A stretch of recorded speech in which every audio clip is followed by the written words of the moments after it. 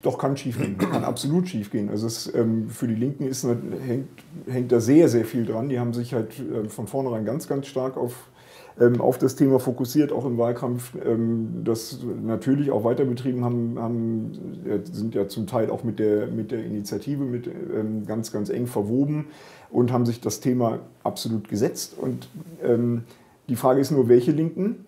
Und das ist natürlich ähm, tatsächlich interessant, weil im Senat sitzen zum Beispiel mit Klaus Lederer, aber auch mit ähm, dem neuen Shootingstar äh, Katja Kipping Leute, die mit diesem Thema nicht wahnsinnig viel am Hut haben. Das ist nicht deren Thema.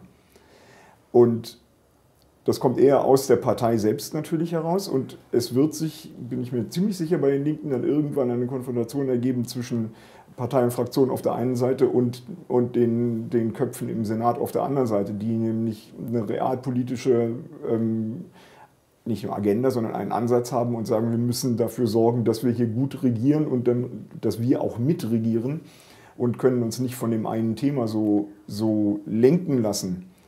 Ja, das ist die Frage, wie das durchzuhalten ist, weiß ich nicht genau. Also das, das ist hochgefährlich natürlich, also, oder zumindest sehr brisant für die, für die, für die Linkspartei.